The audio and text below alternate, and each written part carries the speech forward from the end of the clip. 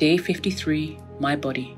1 Corinthians chapter 6, verses 19 to 20, the Passion Translation. Have you forgotten that your body is now the sacred temple of the Spirit of holiness, who lives in you? You don't belong to yourself any longer, for the gift of God, the Holy Spirit, lives inside your sanctuary. You are God's expensive purchase, paid for with tears of blood. So by all means, then, use your body to bring glory to God.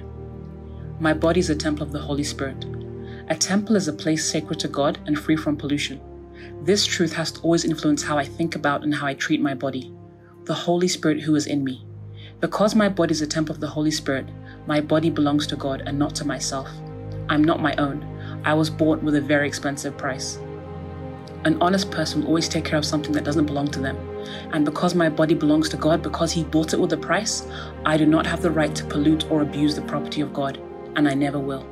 So therefore, declare with me, woman of God, I take care of my body. I am mindful of what I say about and what I do to my body. My body is a place of honor. At every single point in time, I honor God with my body. I treat my body right. I eat well balanced, healthy meals and I do not abuse substances.